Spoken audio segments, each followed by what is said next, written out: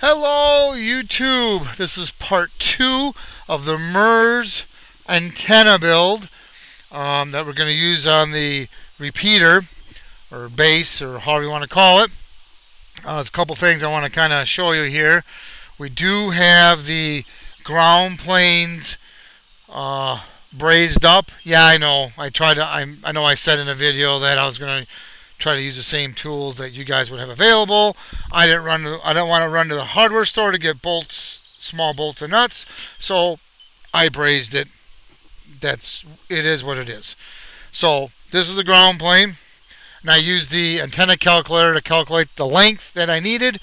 Um, and then of course we'll use a connector. This will go in like this, like so, and then on the other side we will take this connector, we'll cut the brass tubing to the length we need. We'll solder this like this. And on the other end of the brass tubing, we will solder on a, they call this a shaft collar. I took out the wrench screw. I found what bolt um, is the right thread. I put a, a nut and a wing nut on there so I don't need tools. And that will go on this end.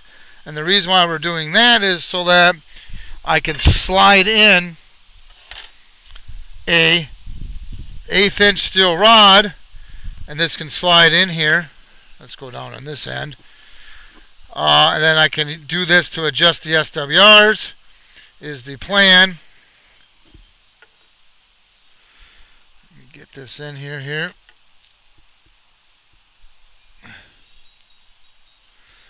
Like so and then I can just tighten it down. Wherever we need to go we'll tighten it down and then I can you know adjust it without cutting it. So that's the plan. Like I said this will solder on the other end of the brass tubing. So that is how we're going to do that. As for the radio we're going to be using handhelds.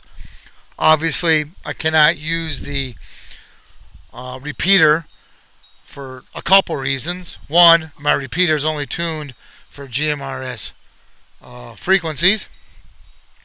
And secondly, um, it's too high power.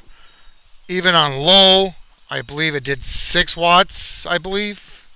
I think it was 6 watts. Well, that was going into the, the duplexer. But I, I, think even on low, I, I don't know what... Uh, I, I think it might be a little too much. But nevertheless, we can't use the repeater because of it's the wrong frequency. So we're going to take two, we're going to use two handhelds. One, we're going to turn into a temporary repeater. I did a video on that, on that software for the laptop, how you can make a handheld into a, a repeater. We're going to put the antenna on the same pole, on the same uh, uh, repeater trailer, I call it. Um, that's what we're going to do there. I did check the handheld as you can see here on medium power I get about 2.6 watts output out of that handheld. Yeah I know. It's it's a little more than two but you gotta remember my meter plus or minus 5% so I tried low power and it was too low. It's like a little over a watt. So I'm trying to keep it as close as I can to 2 watts so I picked medium power. And I don't know if you'll be able to see that. The frequency I picked was the one, uh, the first one in the list, which is right there, 151.820.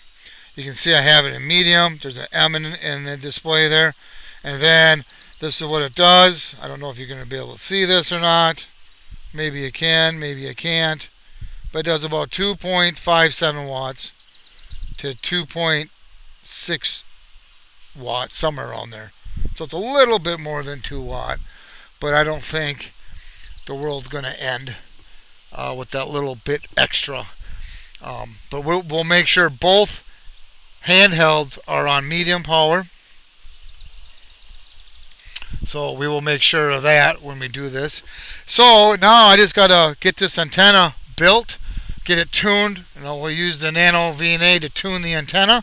Once that gets all tuned up, I will put on that pole and then we will go ahead and do a distance test. So hopefully the next video will be a distance test with the MURS uh, frequency, at least one of them. Technically, it should go further because it's lower frequency, but we shall see. I know people made comments that it, it was not better, uh, but we're going to test it and see what happens. And uh, so that's what our plan is.